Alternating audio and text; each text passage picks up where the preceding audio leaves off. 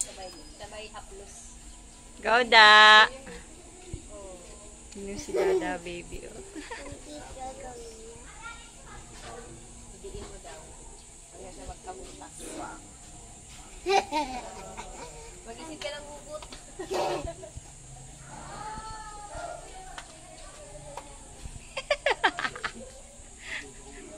Pag na-perfect mo yan, da, mag-resign ka na. Alam mo na, gagawin mo.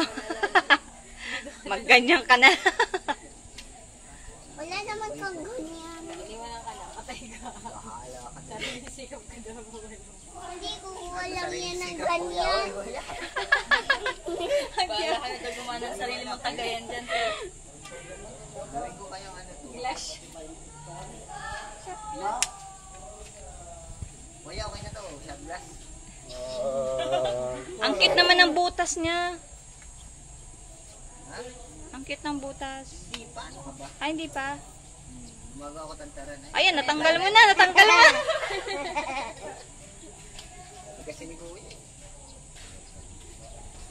Kuya? Tatlo-tatlo kasi dalirit eh. Kasi kuya tatlo yun, para lumaki yung butas. Hindi kasi ako tinuturuan ni Kuya kung ano gagawin.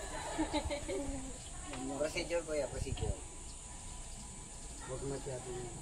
Ah, huwag masyadong buuin. Sabi kasi yun yan. O da, huwag na masyadong madiin. Tapos, tapos ka pa, daddy.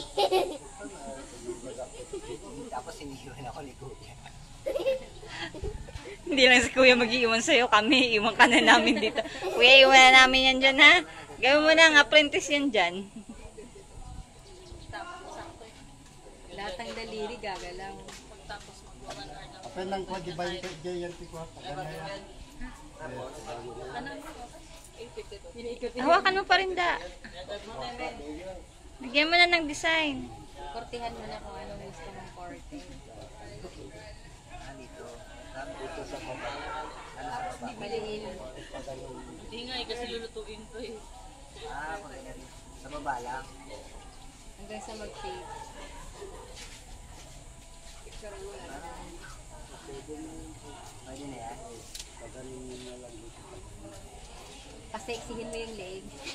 Paano ko po kasi sexy?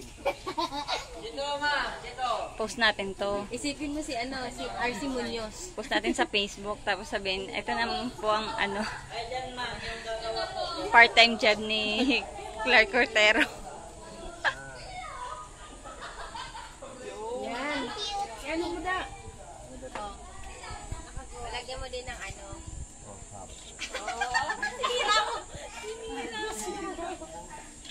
Ayun ang design mo eh. Ayan ang design ko eh.